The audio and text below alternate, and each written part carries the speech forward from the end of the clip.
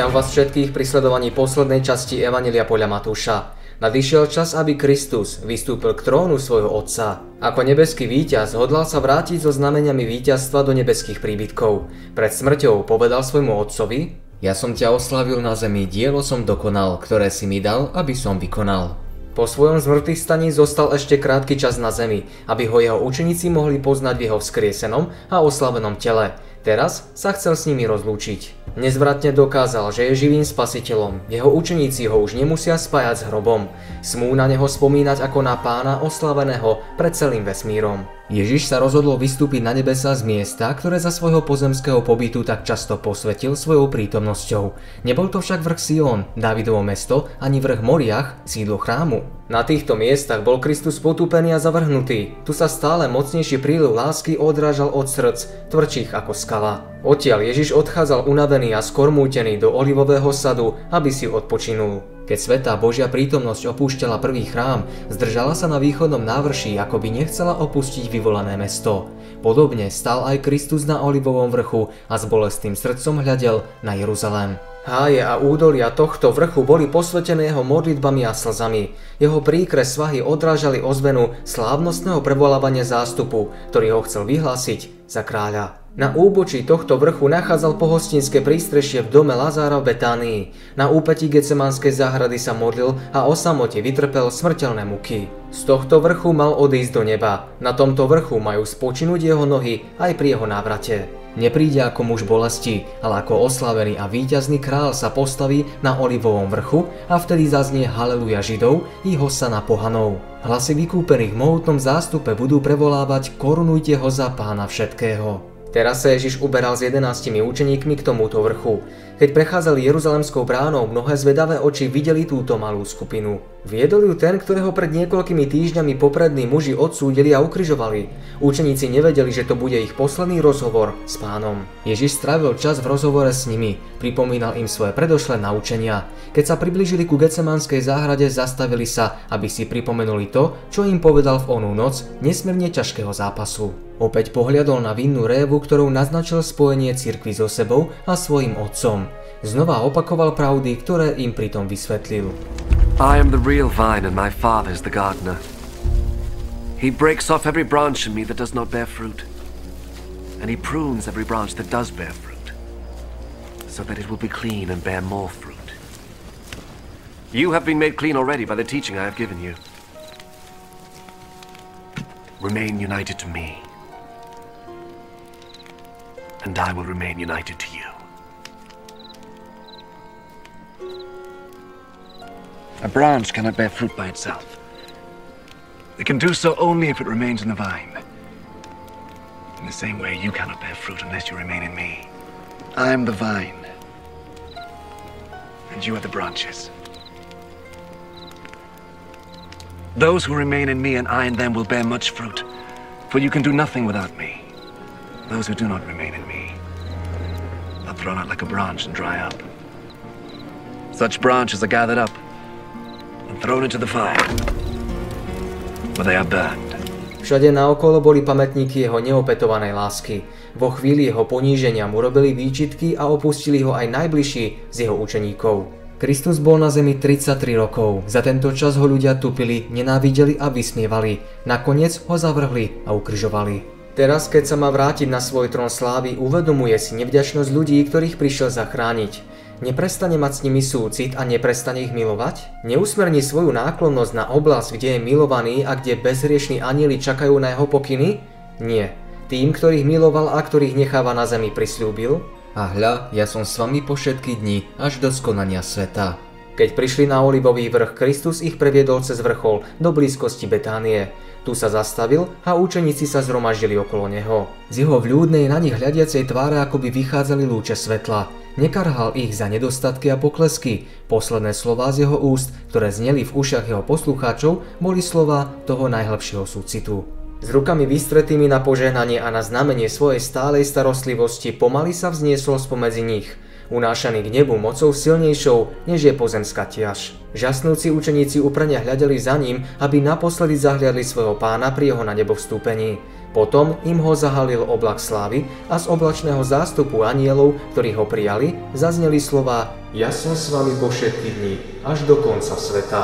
Súčasne počuli z výšin tú najkrajšiu a najradosnejšiu hudbu anielského zboru. A ako v tom, čo odchádzal upretým zrakom hľadeli do neba, tu hľad dvaja mužovia sa postavili vedľa nich v bielom rúchu. Zatiaľ čo učeníci ešte stále hľadeli hore, oslovovali ich hlasy, ktoré zneli ako najľúbeznejšia hudba. Obrátili sa a videli dvoch anielov v ľudskej podobe, ktorí ich oslovili. Títo anieli patrili k zástupu, ktorý čakal na spasiteľa v žiarivom oblaku, aby ho odprevadil do nebeského domova. Ako najvznešenejší z anielského zástupu prišli títo dvaja anieli k hrobu pri Kristovom skriesení a boli s ním počas jeho pozemského života. Celé nebo netrpezlivo čakalo, kedy sa skončí jeho pobyt na svete poznamenanom kliatbou hriechu.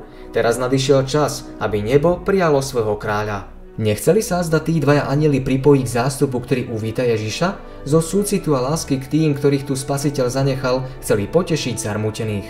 Či nie sú všetci svetoslužobnými duchami, posílanými do služby pre tých, ktorí majú zdediť spasenie? Kristus vystúpil na nebesa v ľudskej podobe. Učeníci videli, ako ho zahalil oblak. Ten istý Ježiš, ktorý s nimi chodieval, s nimi sa zhováral a modlieval, ktorý im lámal chlieb, ktorý bol s nimi v člne na jazere a ktorý ešte v ten istý deň vyšiel s nimi na olivový vrch, ten istý Ježiš odišiel teraz k trónu svojho otca. Anieli ich uistili, že práve ten, ktorého videli odchádzať do neba, príde znova tak, ako odišiel. Príde s oblakmi a uvidí ho každé oko. Lebo sám pán s veliteľským povelom s hlasom Archaniela a strúbou Božou zostúpi z neba a mŕtvi v Kristu vstanú najprv. Vtedy sa splní zasľúbenie, ktoré dal pán svojim učeníkom. Pretože vám idem prihotoviť miesto a keď odídem a prihotovím vám miesto, prídem zase a poberiem si vás k sebe, aby ste tam, kde som ja, aj vy boli. Tak sa smeli učeníci tešiť v nádeji opätovného príchodu svojho pána. Vtedy sa vrátili do Jeruzaléma z vrchu zvaného Olivového, ktorý je blízko Jeruzaléma, na cestu sobotného dňa od neho. Keď sa učeníci vrátili do Jeruzaléma, ľudia na nich hľadeli s údivom. Po súdnom pojednávaní a ukrižovaní Krista sa domnievali, že budú zdrvení a zahambení. Nepriatelia očakávali, že uvidia ich smutné a pokorné tváre. Miesto toho žiarili radosťou a víťazstvom. Z ich tvári vyžarovalo nadpozemské šťastie. Nenariekali nad sklamanými nádejami, ale boli plní chválorečenia a ďakovania Bohu. Radosne rozprávali o Kristovom obdivuhodnom skriesení, o jeho nadebo vstúpení a ich svedectvu mnohí uverili. Učeníci sa už v budúcnosti nebáli. Vedeli, že Ježiš je v nebi a že s nimi stále spolu cíti. Vedeli, že na Božom tróne majú priateľa. Svoje prozby dychtivo predkladali Otcovi v Ježišovom mene.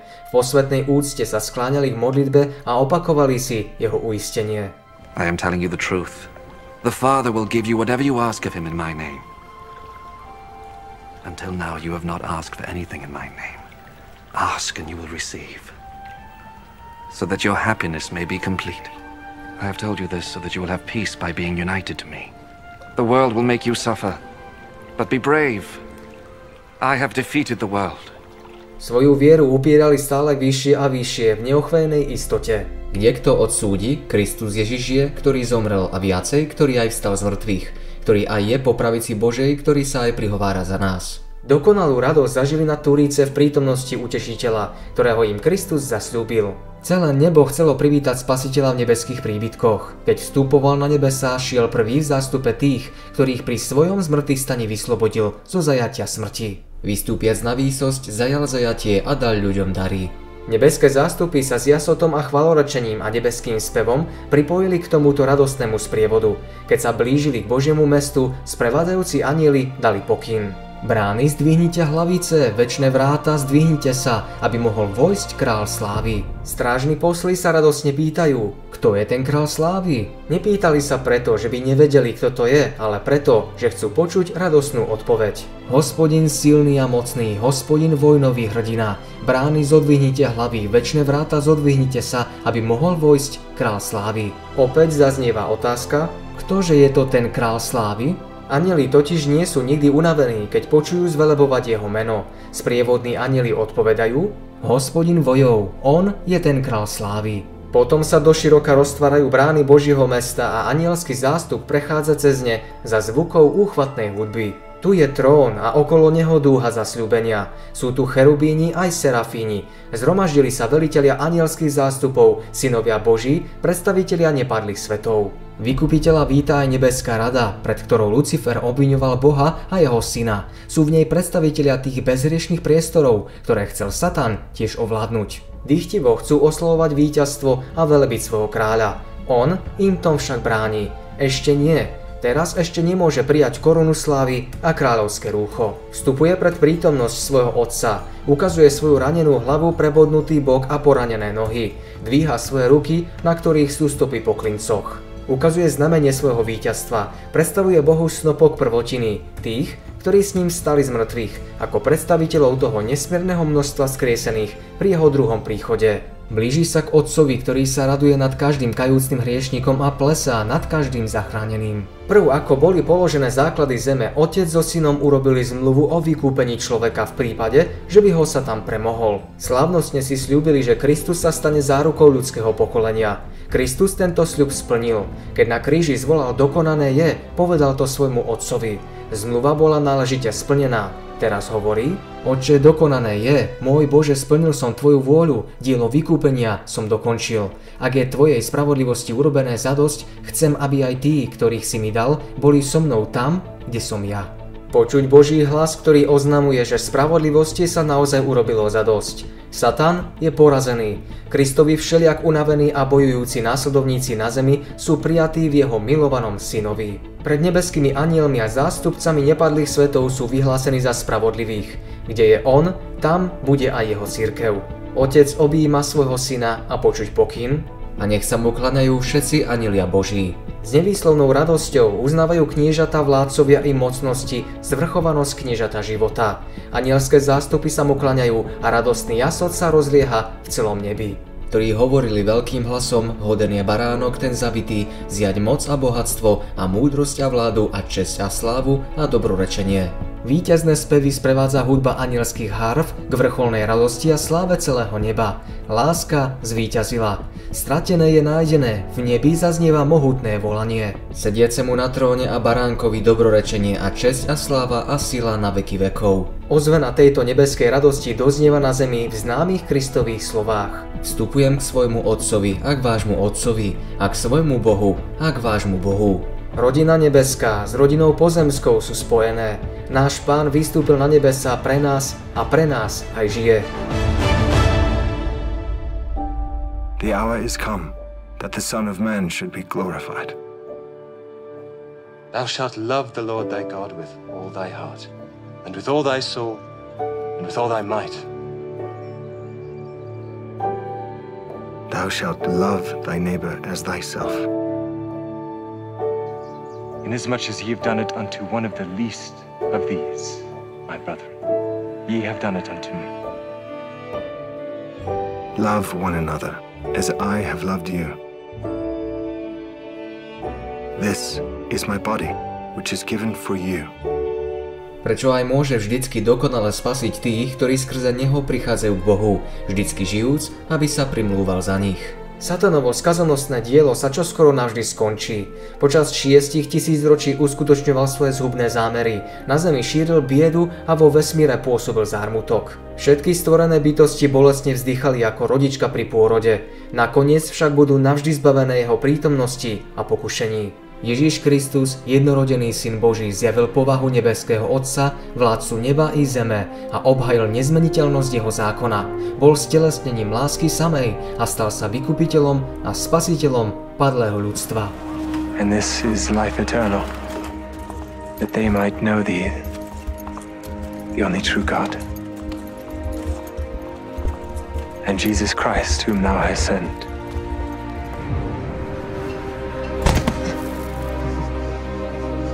I have glorified thee on earth.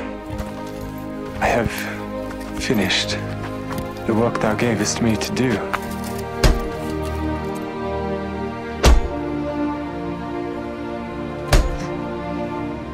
Now, O Father, glorify thou me with thine own self, with the glory which I had with thee before the world was.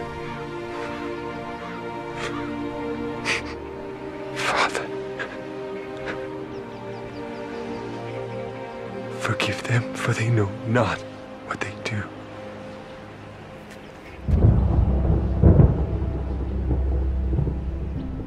O righteous Father, the world hath not known thee, but I have known thee, and these have known that thou hast sent me. Woman, behold thy son. Behold thy mother.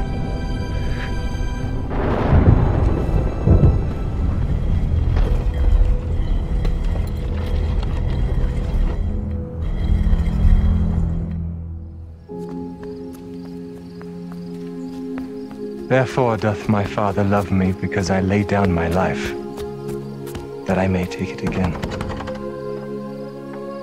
No man taketh my life, I lay it down of myself.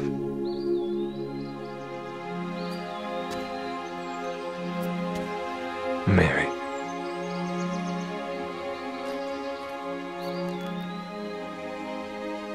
Rabboni. Touch me not, for I am not yet ascended to my Father.